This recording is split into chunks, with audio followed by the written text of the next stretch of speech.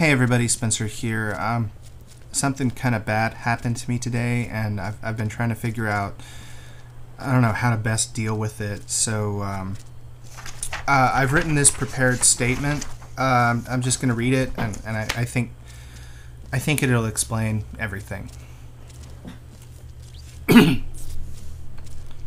Dear scummy douche who hacked me, I hope this letter finds you well. I am writing this upon discovering that our paths have crossed quite surprisingly to me. You probably don't know who I am. I'm probably just another of the hundreds of people with whom you've been, let's say, involved. Still, I feel compelled to pen this note, if only to relieve my frustrations regarding our interactions, you festering sore on humanity's backside. I must admit, I hadn't been playing much Rift in the last week or so. First, I went out of town, and then I got wrapped up finishing Fallout New Vegas, and then I played a lot of EVE Online. I, I guess I don't really have a good excuse. Still, imagine my surprise when, when I logged into Rift, my character stood there naked except for undergarments wrapped artfully around his waist. My first emotion was confusion. I stared at my Bahmi, that's the, the race I'm playing, and he stood there proudly, purple skin glistening in the sun. It was as if he didn't know what had happened to him. Horror and revulsion soon followed.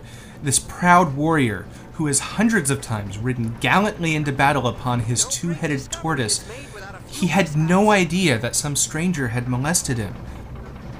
How could someone steal all of his possessions, including the very clothes off his back, without his knowledge? And if it could happen to him, what's to stop it from happening to me? I fully expect that someday I'll be walking to a shop and halfway there I'll feel a peculiar breeze about my lower region. I'll look down to discover that some bandit has absconded with my clothing. I have you to thank for this new worry, you garbage, you filth. I suppose I owe you thanks for this one thing, at least. I was having trouble coming up with a topic for today's show, and you just sort of handed this to me on a silver platter. Still, you do owe my viewers an apology. Because of you, they are forced to watch a naked purple dude gallivanting around town, desperately trying to find a place to purchase clothing with which to cover his shameful nudity. Speaking of which, I am able to purchase new equipment because you aren't even a very good hacker. You got into my account, you emptied my equipment, you, you sold everything in my inventory, and then you left all of my cash. You must be a genius of the highest order. And you're stealing stuff from a level 16? That's just mean, man. We will never meet. And even if we did, I feel sure we would not know one another. I suppose I could ask every stranger I meet, are you the douchebag who hacked my Rift account? That might negatively impact my social standing somewhat, and even if I did ask you, you'd probably lie about it anyway. That said, from our limited dealings thus far, I feel confident that you are a waste of protein and that the world would be better off without you. I don't want you to die screaming.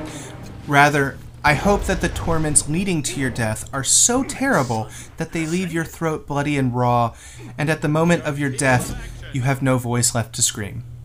Sincerely, Spencer Williams. P.S. I hate you! I hate you! I hate you! I hate you! Oh god, I hate you so much! I hate you!